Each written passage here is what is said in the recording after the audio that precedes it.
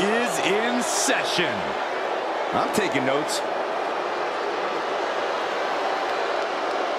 The following contest is scheduled for one fall. Making her way to the ring from Palatka, Florida, Michelle McCool. The first ever Divas champion in WWE history. Driven by faith, heart, and soul with a mean streak even longer than her legs. Yeah, Michelle McCool is used to standing tall in more ways than one.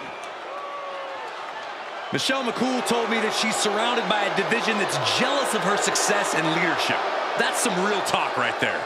Ah, more like real egotistical and delusional with offense. Oh, Michelle McCool with the wings of love.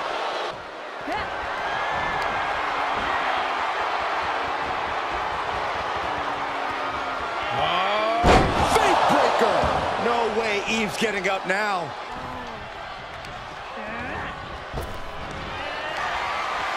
Faith breaker from Michelle McCool. What impact! McCool has her on Dream Street.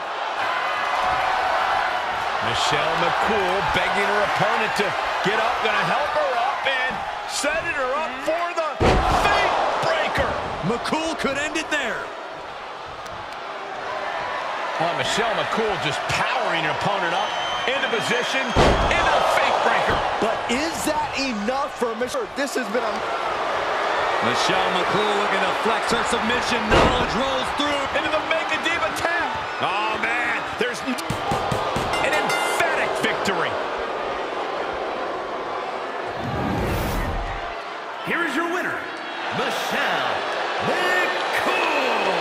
Michelle McCool gets the win and the bragging rights. Not for lack of trying. Eve just couldn't finish the job tonight.